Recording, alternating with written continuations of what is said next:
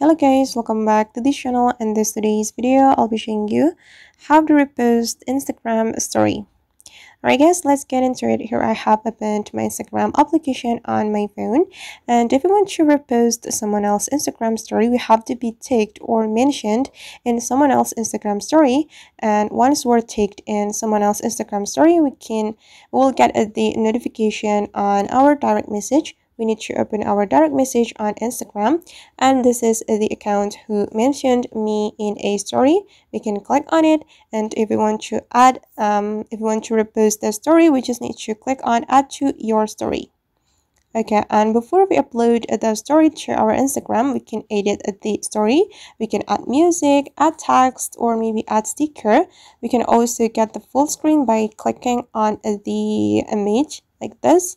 And after that we just need to click on your story to repost the story to our instagram. Okay and i'm just going to check it.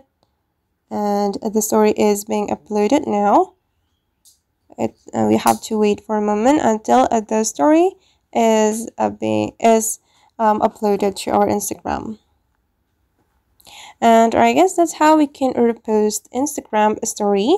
I hope this tutorial will be useful for you. Thank you so much for watching and see you in the next video.